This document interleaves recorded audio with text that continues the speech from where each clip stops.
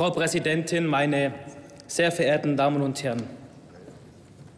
In Zeiten der Unsicherheit muss ein starker und wehrhafter Rechtsstaat den Menschen Halt geben.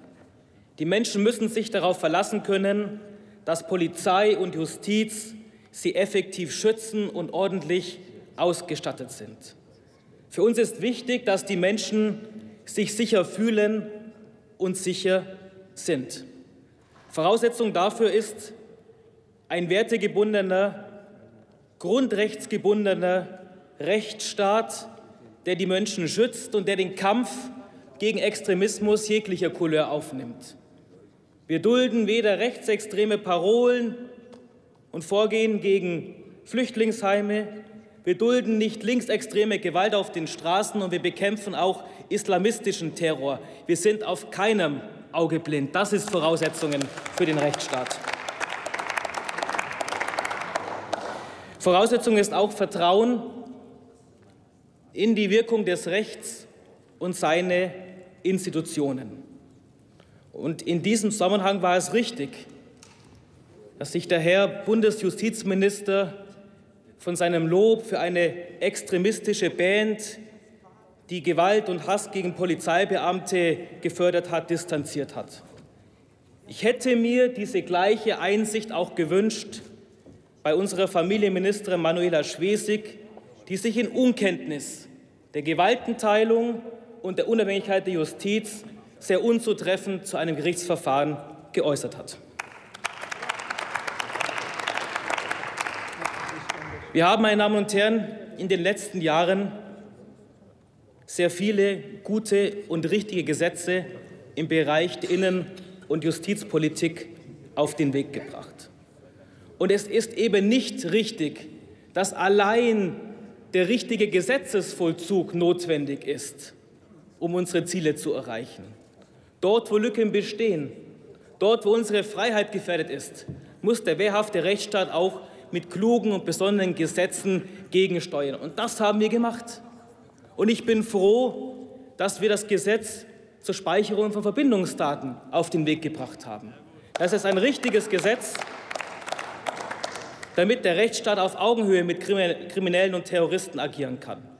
Wir müssen uns auch ehrlicherweise fragen, ob wir in manchen Bereichen nicht noch nachjustieren müssen, bei den Fristen oder auch bei der Frage der entsprechenden Straftaten. Ein Thema, das uns sehr stark beschäftigt, ist die Frage der Wohneinbruchskriminalität. Es ist ein Thema, das wir nicht kleinreden dürfen, wo wir auch nicht von vornherein sagen können, Herr Kollege Fechner, gibt es keinen gesetzgeberischen Handlungsbedarf. Wenn in eine Wohnung, in ein Haus eingebrochen wird, verletzt das die Menschen in ihrer unmittelbaren Intimsphäre. Sie sind verunsichert, sie haben in den eigenen vier Wänden, die ihnen eigentlich Schutz geben sollten, besonders Angst und fühlen sich unsicher. Deswegen steht ein Wohneinbruchsdiebstahl in seiner kriminellen Energie einem Raub oder einem Meineid in nichts nach. Und deswegen bitten wir darum, dass wir gemeinsam den Wohnungseinbruchsdiebstahl zum Verbrechen erklären, dass es keinen minderschweren Fall gibt, sondern dass der Rechtsstaat deutlich sagt, wenn eine Wohnung einbricht, begeht eine schwere Straftat. Es ist auch wichtig, damit wir den Ermittlungsbehörden die richtigen Instrumente geben können. Einen Zugriff auf Verbindungsdaten auch bei Wohnungseinbruchsdiebstahl. Wir müssen uns auch überlegen, ob wir Telekommunikationsüberwachungsmaßnahmen im Falle der Wohnungskriminalität einführen, um die Menschen effektiv zu schützen, die Aufklärungsquoten zu erhöhen und damit diesem Phänomen sehr gültig den Kampf ansagen können. Und wenn wir über Wohnen sprechen, dann fällt auch ein Blick auf die Frage, wie gehen wir mit Mieten und mit der angesprochenen Mietpreisbremse um. Für uns ist eines entscheidend, und das hat heute gar niemand angesprochen. Der Kampf gegen Wohnungsnot in den Großstädten wird nicht allein über die Regulierung der Mietpreishöhe zu gewinnen sein, sondern das geht nur über den Neubau von Wohnungen. Und der Neubau von Wohnungen hat auch stets eine steuerliche Komponente. Und Sie können nicht hier, liebe Kollegen der SPD, auf der einen Seite eine Verschärfung der Mietpreisbremse einfordern, aber dann, wenn es darum geht, steuerliche Verbesserungen für die Wohnungsbau herbeizuführen, da haben Sie blockiert. Das passt nicht zusammen. Für uns ist auch klar, dass Wohnen eine sehr tragfähige Komponente der Altersvorsorge ist. Deswegen werden wir auch noch genau hinsehen, ob die jetzt stärker auftretenden Berichte einer möglichen Altersdiskriminierung im Bereich der Kreditvergabe bei der Wohnimmobilienkreditrichtlinie zutreffen oder nicht. Wir werden uns gegen eine Altersdiskriminierung einsetzen. Und deswegen müssen wir, wenn diese Berichte auch zutreffen und untermauert sind durch Fakten, gesetzgeberisch oder auf dem Verordnungsweg hier gegensteuern. Meine Damen und Herren, Sie haben auch angesprochen, Herr Minister Maas, dass wir im Bereich der Strafprozessordnung Videoüberwachungen, äh, Videoübertragungen im Gericht in sehr begrenztem Umfang zulassen.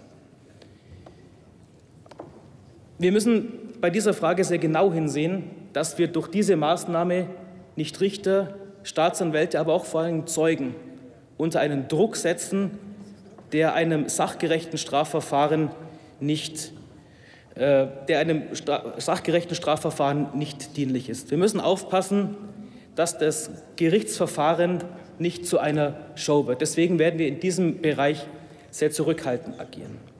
Wir brauchen aber auch, wenn es um die Frage, wie geht es bei Gericht zu, ein klares, deutliches Signal für die weltanschauliche Neutralität der Justiz. Deswegen ist die Frage, ob wir nicht im Gerichtsverfassungsgesetz ganz klar gesetzgeberisch regeln, dass Zeugen vor Gericht ihr Gesicht zeigen müssen und sich nicht verhüllen dürfen und dass auch Richter und Staatsanwälte als Zeichen der weltanschaulichen Neutralität vor Gericht kein Kopftuch tragen dürfen. Auch das wird im Gerichtsverfassungsgesetz zu regulieren sein. Meine Damen und Herren, wir leben in einer freiheitlichen, offenen Gesellschaft. Wir leben in einem Rechtsstaat, der die Voraussetzung für eine wehrhafte Demokratie liefert. Deswegen müssen wir diese Werte auch klar und deutlich verteidigen. Das bedeutet auch, dass wir die Toleranz nicht so weit ausdehnen dürfen, dass letzten Endes die Intoleranten gewinnen. Toleranz bedeutet für uns auch immer Toleranz für unsere Werte, für Freiheit, für Rechtsstaatlichkeit und für Demokratie. Das ist die Richtschnur unserer Rechtspolitik. Daran werden wir uns messen lassen. Vielen Dank. Vielen Dank. Als nächstes hat die Kollegin Elvira Drobinski-Weiß für die SPD-Fraktion das Wort.